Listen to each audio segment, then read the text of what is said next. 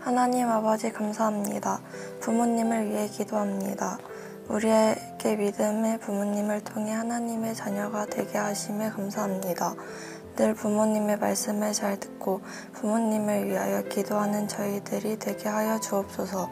부모님이 원하는 믿음의 자녀가 되게 하옵시고 학교에서도 열심히 공부하여 부모님의 마음을 기쁘시게 하는 저희들이 되게 하옵소서. 네 명의 자녀를 낳고 기르는 우리 부모님이 늘 건강하고 우리를 양육하며 힘들지 않도록 도와주옵소서.